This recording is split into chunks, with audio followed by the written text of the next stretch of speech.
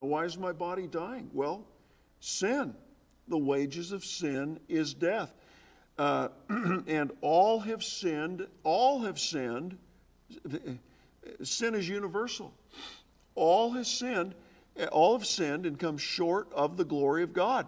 There's not a righteous soul upon the whole earth, the Word of God tells us, you see? And, and so uh, the sting of death is sin, you see? And that's why we're all dying. Now, before Adam and Eve sinned, they were, they were, uh, they were alive eternally. But when they sinned, uh, death started. And, uh, and so, uh, yeah, sin is the sting of death. And then notice in verse 56, there's another remarkable statement in the Word of God. And the strength of sin is the law. The strength of sin is the law. Now you've heard of you've heard of God's laws, I'm sure, uh, and specifically, uh, you're probably you have uh, familiarity with uh, at least ten of God's laws, although there are hundreds of laws, but uh, but uh, most commonly referenced are uh, the Ten Commandments. Those are God's uh, ten of God's laws. And uh, you know what? You're probably able, you're probably able to uh, maybe quote all ten of those commandments, or maybe you can quote, you know, half of them, or or you know, two or three of them, or maybe even one of those laws. Isn't that an interesting statement? And the strength of sin is the law. Well, that's because nobody has kept God's laws. Nobody does keep God's laws. Are you aware of that? Are you aware that nobody has kept God's laws? Uh, what is sin? Well, sin is the transgression of the law. Sin is disobedience to God's laws. That's what defines sin. So, uh, when a person disobeys one of God's laws, that constitutes sin against God. Well, how many people have sinned against God?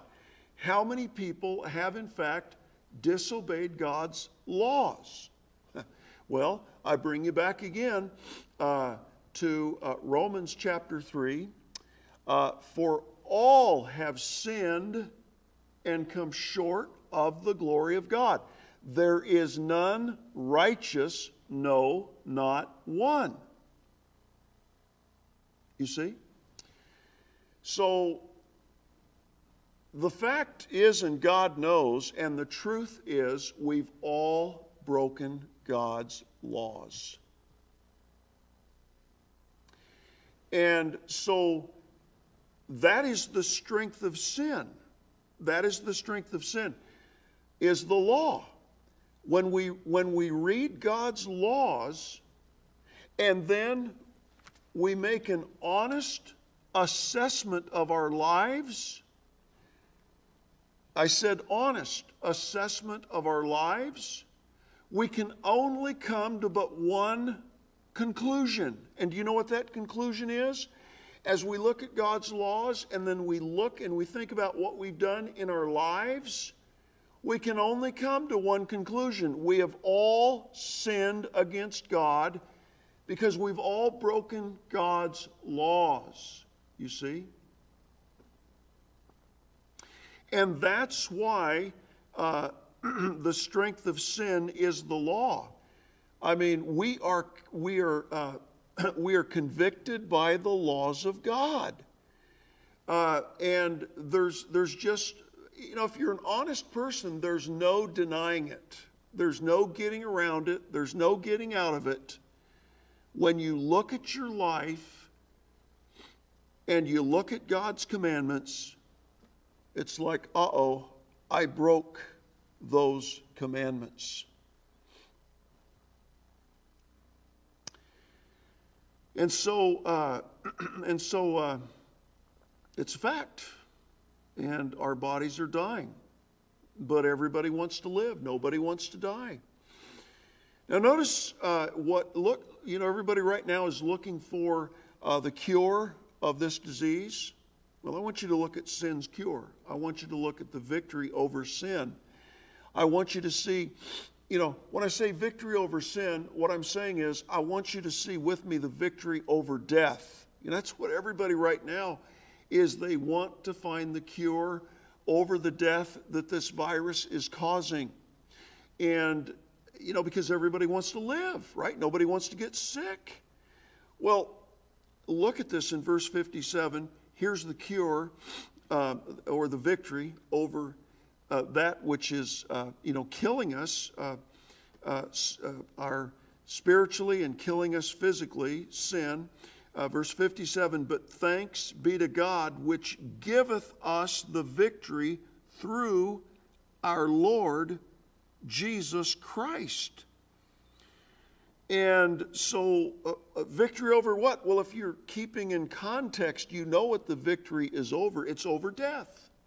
I mean, that's what the passage is plainly speaking about, is the fact that our bodies are corrupt and uh, we're dying, and how that uh, death is swallowed up in victory. And how was death swallowed up in victory? by uh, the person of Jesus Christ. Now we're going to look at how Christ swallowed up death and, and why it is and how it is that when, when we repent and, and we just get honest with God about the fact that we've broken His commandments, no matter how, try, how, how hard we try to look good in front of others, right? In, in, you know, even in places of religion, uh, how, how hard we try to do good and, and to work hard uh, so that we can impress others. Um, you know, look, um, there's only one way to impress God, uh, and I, am going to show you how to impress God. And, uh, it, and it, it, it leads to a victory over uh, sin and death, and it leads to uh, eternal life with Him. And uh, yes, uh, that's available if you're available unto it. So now, I want to invite you, uh, if you would, then please, Acts chapter 2, uh, Acts chapter number 2, and keeping in mind that uh, David is, he knows he's got to go walk through the valley of the shadow of death. and, you know, the fact is, in, in, a, in a metaphorical sense or in a, in a, in a uh, typical uh, uh, way right now, uh, listen, folks, we've got a lot of, a lot of shadows of death uh, all across the nation and all around the world right now. And we've got to walk through those because at some point we're going to have to go get what we need for the sustenance of our lives, the sustenance of our health, and, you know, um, despite the fact that, uh, you know, there is, there is a prospect of death, uh, or uh, if not death, uh, just uh, really terrible suffering. Uh, and I don't have to tell you, you've seen the news accounts. and so, Acts chapter 2 now, and we're going to see some more commentary about David. And what we're going to find in Acts chapter 2 is an answer to the question I asked earlier why could David say that he fears no evil as he's, as he's going to be confronted by death going through that valley? He, he says, I fear no evil. And remember what he says, for thou art with me. Thou art with me. That's the key. And let me ask you a question right now Is Jesus with you? oh, you say, well, I, I, am a member of a church. No, that, that's, that's, not, that's not the answer. Listen to the question again, please. Is Jesus Christ with you? Well, uh, I, I, was baptized. I, I, I, was baptized, you know, and they used water. uh, to baptize me in, in, some form or another. Uh, you know, wait a minute, wait a minute. That, that's, that's, not, that's not what I asked. You know, and I'm asking this in love and I'm asking this respectfully to you. Again, uh, is Jesus Christ with you? You see, David said that he did not fear death because the Lord was with him. You see, uh, he's not talking about a religion, he's not talking about a baptism. Uh, he, you know, he's not talking about any of his accomplishments, you know, his good deeds, his good works. Uh,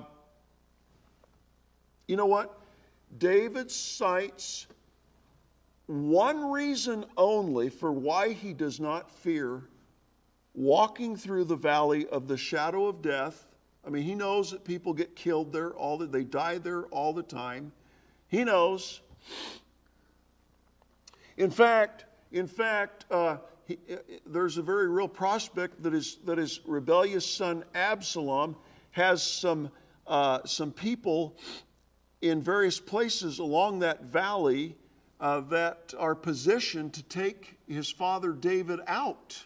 You know, David, David's a warrior. D- David knows all the tricks. He, he knows all the methodologies. He knows, he knows it all. You know, he's been there, he's done it. But he says, I've got to walk through that valley to leave this city of Jerusalem. But he says, I don't fear, I don't fear death. That's what he says. And, and he says, and he says, it's because the Lord is with me. You see? Now, um, let's pick it up in Acts chapter 2, if you would, please. Acts, uh, Acts chapter 2. Please uh, join me there. Open your Bible and turn along, follow along, Acts chapter 2, and uh, referring again back to the passion of Christ, his death, verse 23 Him being delivered by the determinate counsel and foreknowledge of God. You need to understand that before God created uh, the, uh, the heaven and the earth, God had already made the plan of salvation. Isn't that marvelous? God went ahead with creation and with uh, making man, and from man the woman. And, and uh, you know, God saw the end from the beginning, God saw the whole picture, and yet, uh, because he loves you and He loves me. He proceeded and He had already made His plan of redemption beyond the fact of our fall into sin uh, and uh, the consequential death that always is, is the price tag for sin. The wages of sin is death. Um, God made a plan, and God's plan was that He would come, that Emmanuel would come, that God with us would come, and that God would pay the penalty personally that he had placed on sin, which is death. He told Adam, Adam and Eve both knew if they sinned against God, it would result in their death. And, you know, the fact that we're dying physically and the fact that until we repent and accept Jesus, Jesus, our spirit is dead, that part of us that uh, makes it possible for us to have a relationship with God. God is a spirit. God is spirit. And, uh, and if we're going to worship Him, we must worship Him in spirit and in truth. Uh, Jesus uh, taught us in the Gospel of John. But the fact that we're dying uh, is, is traced back to original sin, you see. And And, and so, you know, somebody says, well, I want proof for the Genesis account. Well, uh, you know what? You're dying. And that's the reason you're dying. And that is the explanation for why you're dying. Uh, but God, even though uh, He knew the cost to Himself personally, still created the heaven and the earth and, and, and man and, uh, and, and, and of course, uh, sin entered in, uh, you know, and death by sin and, and sickness and disease and heartache and heartbreak and, and uh, but God's plan was to come to earth and to pay his own penalty that he had placed upon sin against him, which is death. God came and paid the penalty. Why did God do that? So that you don't have to pay it, so that I don't have to pay it. If we are but willing to accept Him, to invite Him to come into our lives which goes back to why God created, why God made you. He desires more than anything else to be in a personal relationship with you, filled with His love. And that is God's purpose, that is God's desire, is to know you for all of eternity, for you to be with Him and to share the blessings of eternity forevermore. And God took your place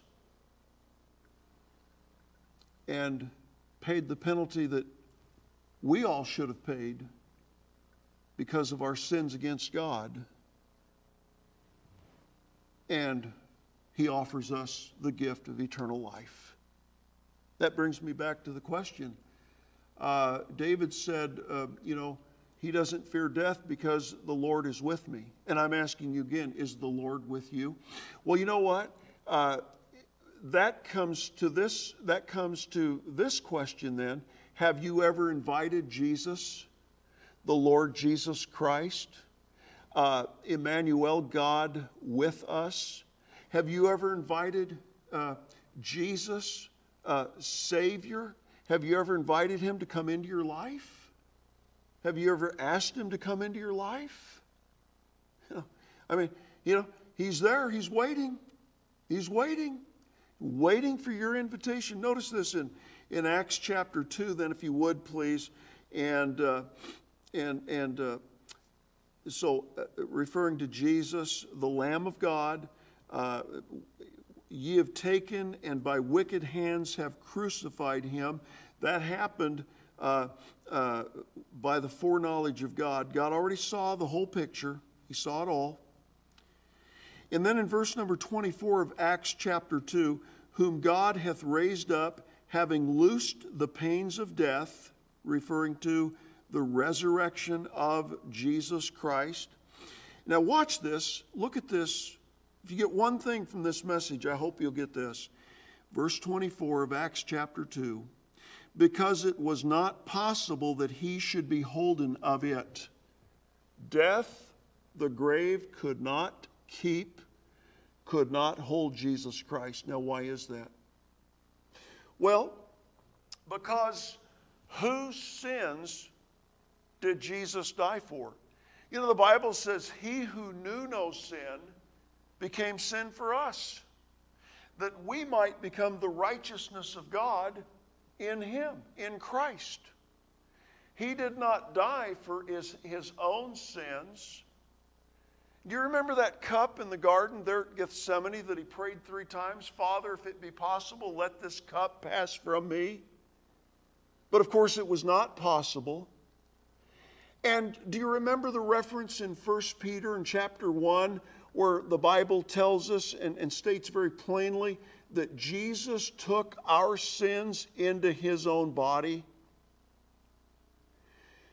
And those were not his sins, The sins that Jesus took into his own body, those were your sins. Those were my sins. In fact, 1 John tells us that Christ died for the sins of the world. Those were the sins of the world that Jesus took into his own body. And when Jesus Christ died,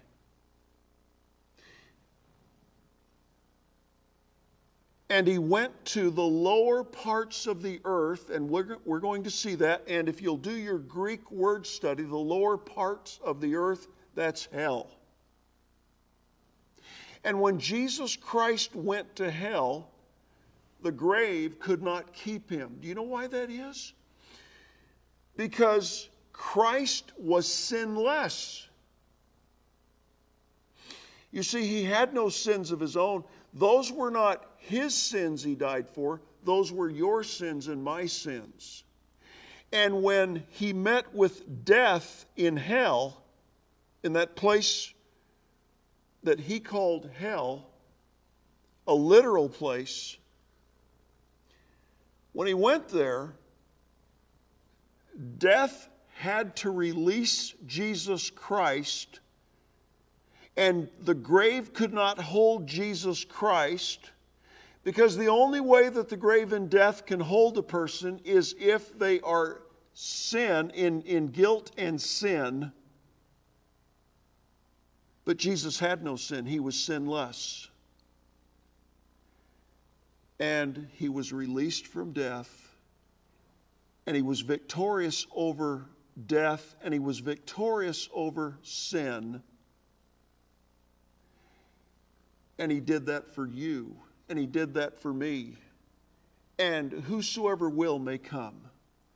Whosoever shall call upon the name of the Lord shall be saved. It's not automatic, it involves your personal decision to invite Jesus Christ, to accept Him, and invite Him to come into your life and to forgive you of your sins and to save you from death in hell, because only He can do that, because only He is sinless, and therefore only He has the power over, over uh, the grave and over death and over sin. And He's just waiting for you to come to Him and to call upon Him and to invite Him to come into your life, and then He will by virtue of the fact that you accept Him, He will give you that victory. That becomes yours in Christ Jesus. The victory over death, the victory over sin, the victory over hell, the victory over an eternal separation from God in an awful place that Jesus calls hell. He will give you that victory because that is what he purchased for you by his death, his burial, and his resurrection from the dead. And it's all available unto you if you're available unto those that eternal life that is gifted to those who will believe in Jesus Christ. And so, uh, you know, what a powerful, uh, remarkable statement there in uh, verse 24 of Acts chapter 2. Now let's uh, continue on in verse 25. For David speaketh concerning him. again, now we're back to David. Okay, for David speaketh concerning him. That would, that would be concerning Jesus Christ. you know, uh, David trusted, believed in Jesus Christ, the same as uh, today uh, we, we, we do, those of us who will do. Uh, and he says, I foresaw the Lord always before my face. Now we know why David was not afraid to go into the valley of the shadow of death. He said, the Lord is with me. And here he says it in, in another way. He says, I foresaw the Lord always before my face. and the Lord was with him. And uh, at no time was David without the Lord, his God, his Savior, Jesus Christ. And, you know, he, so he, here's the fact. Here's the fact. And really, what David is saying in the 23rd Psalm when he says, um, You know, I, I, I fear no evil, referring to death. Death is evil, death is man's enemy. But David said, I don't fear it. And he said, and the reason he didn't fear it is because for David, death was not, and it was not a possibility. It just wasn't even possible for David to die because David had invited Jesus to come into his life. And when David did that, when David believed in Jesus, remember that verse a while back? The question that Jesus is asking, Believest thou this? He that believeth in me shall never die. Believest thou this? Do you remember that question that Jesus is still posing today? We see when Jesus comes into your life because you invite him to come into your life, he defeats death, he defeats the power of sin, he defeats the penalty of sin, which is hell, death and hell. And when we go to be with him, he, he will defeat even the very presence of sin because there is no sin in heaven. And, and so uh, David had made the decision to accept Jesus Christ as his personal Savior, and that meant that he would never die. Now, uh, we say, what about that body? Well, yeah, sure enough, but remember, and here's where we get in, here's kind of where we get a little, little bit of problem in our thinking is according to 1 Corinthians chapter 5, I don't have time to go there, but I cite the reference, and I hope that you will. Your body serves this function. It is, it is the earthly tabernacle. It is it is literally the dwelling place of your soul and spirit, the other two parts of your tripart being. And it's like, it's like you live in your body. Your body is your house. It is your dwelling place here on earth. But you the person that you are is your soul. And your soul is the seat of all your emotions. So, what are you saying, preacher? Well, uh, what I'm saying is, and what the Bible tells us is, that uh, the real you lives inside of that body. And, and what and what David is saying when he says, you know, I've got to walk through the valley of the shadow of death, and he says, but I, I fear no evil. And then he tells us why, for thou art with me. What he's telling us is, nothing can kill me. And now he's not referring to his physical body. He's not referring to the house that he lives in he's referring to who he really is, and that is his soul and his spirit, which came alive when he repented and accepted Jesus. And that's why he's his spirit, that's why he uh, that's why he has this wonderful personal relationship. He says, you know, your face is always before me he says about Jesus, about God, he says, because when he, when he accepted Jesus and God washed all of his sins away, you know, uh, then there's no longer anything between David and God. Amos said, Your sins have come between you and your God. Well, those sins were all cleansed. And, and so David was in constant, this constant relationship with God, and, it, and it's all because of his faith in Jesus, you see, in the Lamb of God and the one who died to pay for his sins.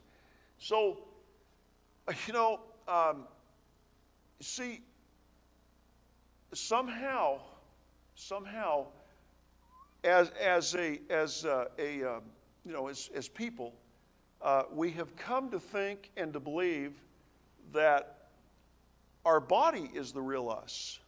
You know, we do all these things to our physical body. Uh, your body is your, your body is where the real you lives.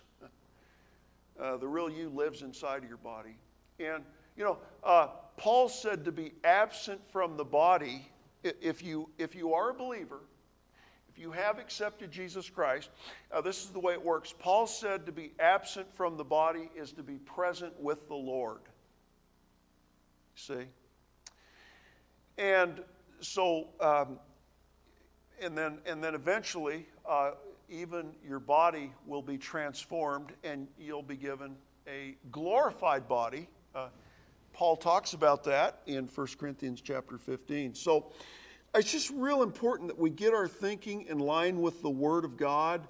Uh, but, you know, once Jesus comes into your life, because you invite him to come in, uh, you don't live in the fear of death thereafter. You know, somebody said you cannot threaten a, Christian with death.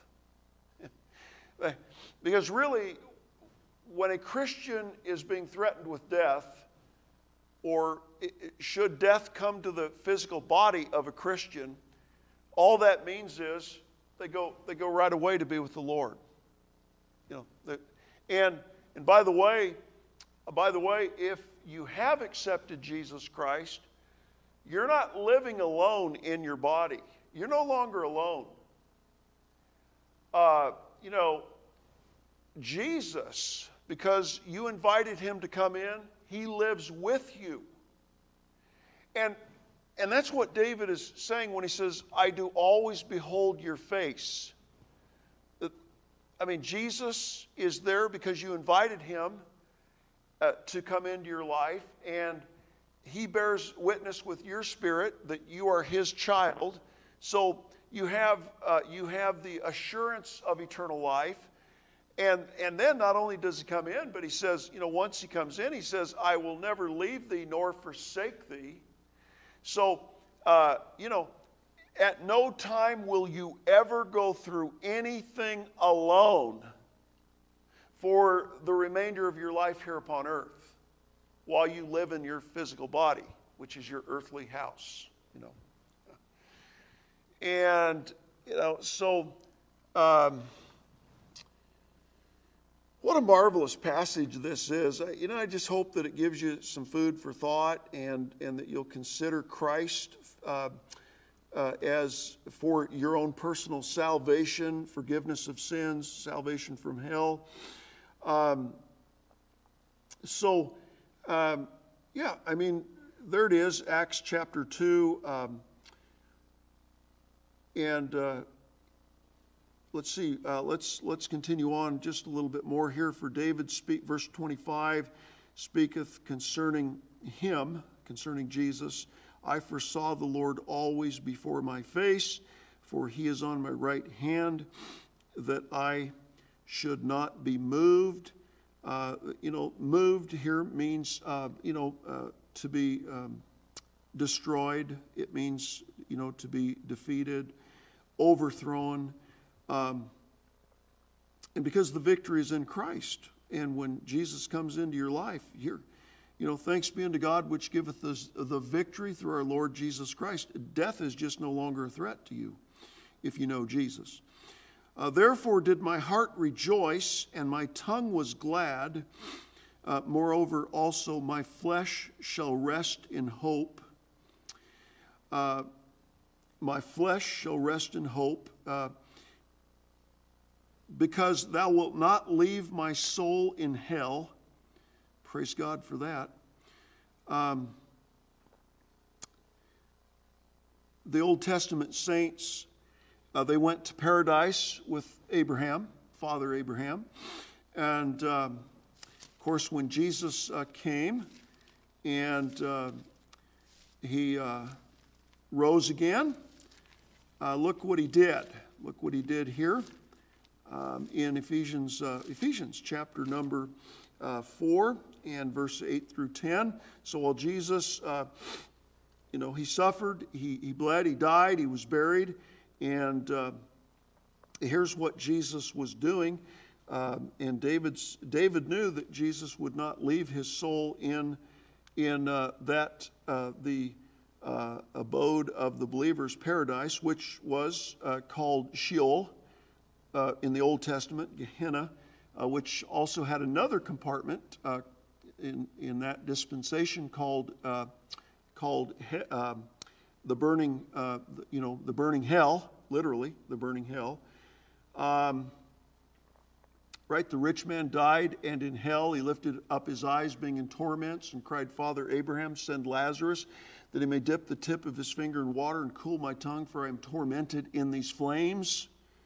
But, you know, the rich man uh, just decided that Jesus Christ was not important and uh, enjoyed his riches and died and uh, is now uh, spending a Christless eternity uh, where he is paying for his own sins. Um, and uh, so the consequences of rejecting Christ um, are, are just, uh, well, eternity in hell. Um, but God would that none should perish, but that all should come under repentance. You know, we're left with a choice, you know. It's our choice. But here's what Jesus did uh, Ephesians 4, verse 8 Wherefore he saith, When he ascended up on high, he led captivity captive and gave gifts unto men.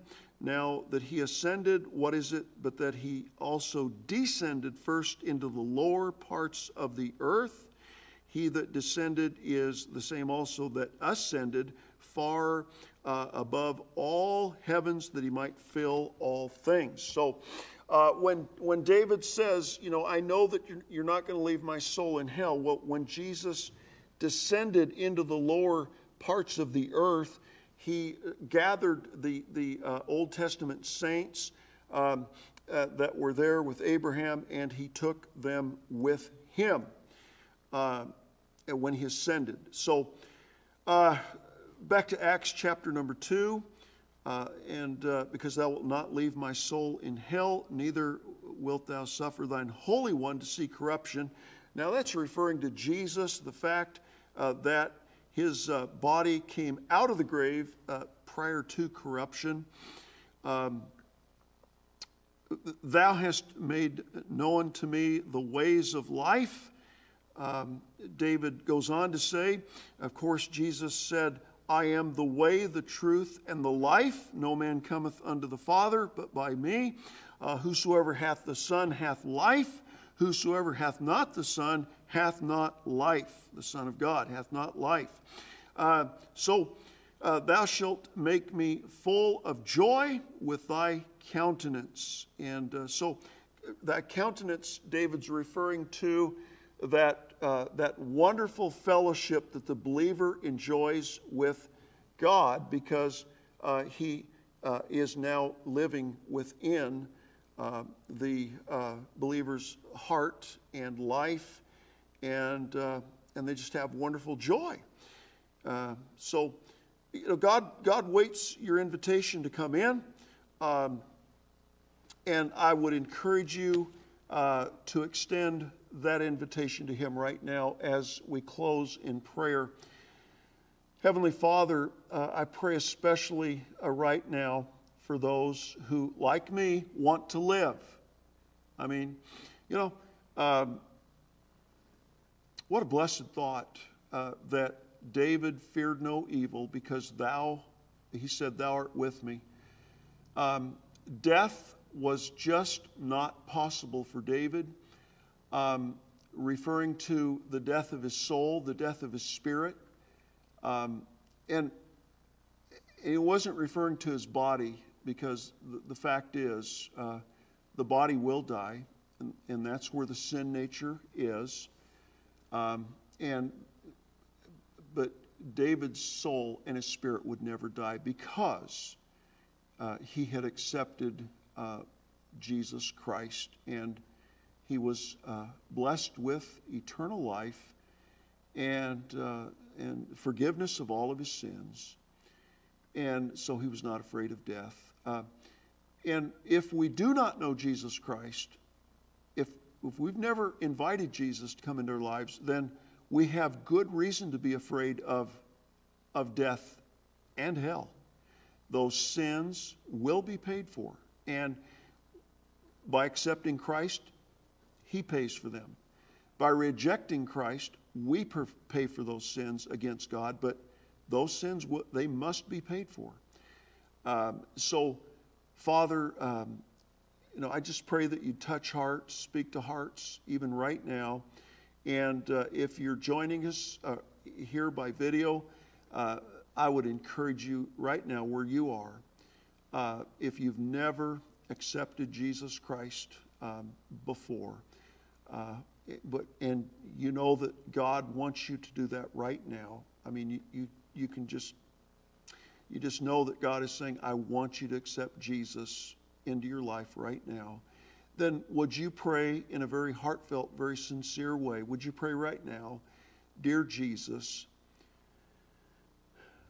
I'm inviting you to come into my life. Please forgive me of all of my sins. Lord Jesus, please save me right now from that awful place you call hell. And please give me the gift of eternal life so that I can be forever with you. Thank you, Jesus, that you died to pay for my sins. And thank you that you've just taken the death threat away from me because I have been given eternal life. Help me to live for you for the rest of my time here upon the earth. Now, Father, uh, those, uh, Lord, who have just prayed uh, to accept Jesus Christ, I, I pray that you would just fill their lives with uh, joy and peace and just uh, their rejoicing that you just lifted off all the guilt of sin, all that weight, that burden, uh, that condemnation. It's gone. and they now, uh, Lord, have become your children by faith in Jesus Christ. God bless them, I pray. We hope we get to meet them, if, if not here on earth, then we most assuredly uh, in heaven. Uh, but uh, Lord, uh, if uh, they do live in the valley, we hope you'll lead them to a service here so that we can enjoy their fellowship and, and just get to know them and rejoice with them. God bless, I pray, uh, until we meet again. In Jesus' name, amen.